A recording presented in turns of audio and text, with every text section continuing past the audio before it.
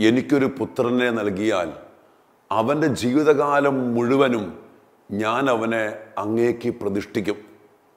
സാമുവലിന്റെ ഒന്നാം പുസ്തകത്തിൽ ഒന്നാം അധ്യയത്തിന്റെ പതിനൊന്നാമത്തെ തിരുവചനത്തിൽ ഹന്നായുടെ ദൈവസാന്നിധിയിലുള്ള പ്രാർത്ഥനയാണ് ഈ പ്രാർത്ഥന. അതൊരു തീരുമാനമാണ്. വന്ധിയായ ഈ ഹന്ന ദൈവസന്നിധിയിൽ തന്റെ ഇല്ലായ്മയെക്കുറിച്ച് വേദനയോടുകൂടി ദൈവസന്നിധിയിൽ സമർപ്പിച്ച് പ്രാർത്ഥിക്കുമ്പോൾ അവൾ തിരിച്ചറിയുന്നുണ്ട് മക്കൾ ദൈവത്തിന്റെ ദാനമാണ്. മക്കൾ ദൈവത്തിന് വേണ്ടിയുള്ളതാണ്. ആ ഒരു കാലഘട്ടത്തിന്റെ കാത്തിരിപ്പിൽ നിന്നുകൊണ്ട് ഈ മകൾ തീരുമാനമെടുക്കുകയാണ്. ദൈവമേ നീ തരുന്ന കുഞ്ഞിനെ നിന്റേതായി കണ്ട് നിനക്ക് വേണ്ടി ജീവിതകാലം മുഴുവൻ സമർപ്പിക്കുവാൻ ഞാനിതാ തീരുമാനിക്കുന്നു. എന്റെ പ്രിയപ്പെട്ടവരെ നമുക്ക് എന്തെല്ലാം ഉണ്ടോ അത് ദൈവത്തിന്റെ ദാനമാണ് നമ്മുടെ മക്കൾ ദൈവത്തിന്റെ ദാനമാണ് ചിലപ്പോഴെങ്കിലും പെട്ടെന്നൊരു കുഞ്ഞുണ്ടാകുമ്പോൾ ആളുകൾ വിചാരിക്കും എന്റെ കുഞ്ഞ്.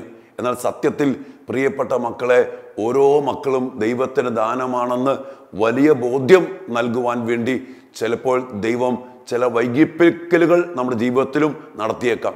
ഈ തിരിച്ചറിവിൽ നിന്നിട്ട് ഈ മകൾ പ്രാർത്ഥിക്കുന്ന ദൈവമേ നീ ദാനമായിട്ട് കുഞ്ഞിനെ നൽകിയാൽ ഈ കുഞ്ഞിനെ നിനക്ക് വേണ്ടി ജീവിതകാലം മുഴുവനും സമർപ്പിക്കും.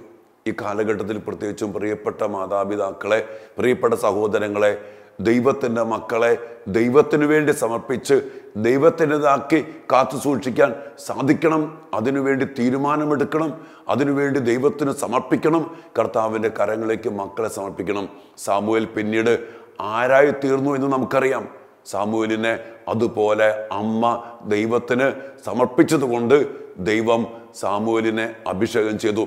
നമ്മുടെ മക്കളും അഭിഷേകം പ്രാപിക്കണമെങ്കിൽ നമ്മുടെ മക്കൾ നന്നായിട്ട് വളരണമെങ്കിൽ നല്ല തീരുമാനത്തിൽ നമ്മുടെ മക്കളെ ദൈവത്തിന് സമർപ്പിക്കണം. നമുക്കതിനു വേണ്ടി പ്രാർത്ഥിക്കാം. നമ്മുടെ മക്കളെ ദൈവകരങ്ങളിലേക്ക് ഭരമേൽപ്പിക്കാം. ദൈവം നമ്മയും നമ്മുടെ മക്കളെയും അനുഗ്രഹിക്കട്ടെ. നല്ല തമ്പുരാനെ അങ്ങയുടെ ദാനമാണ് എല്ലാം എന്ന് കണ്ടെത്തി അങ്ങയുടെ ദാനമാണ് മക്കളെന്ന് മനസ്സിലാക്കി അങ്ങേക്ക് വേണ്ടി സമർപ്പിച്ച് മക്കളെ അങ്ങയുടേതാണെന്നുള്ള തിരിച്ചറിവിൽ വളർത്തുവാൻ എല്ലാ മാതാപിതാക്കളെയും അനുഗ്രഹിക്കണമേ. മക്കൾ അങ്ങയുടെ സ്വന്തമായിട്ട് ഈ ലോകത്ത് വളരട്ടെ കർത്താവേ.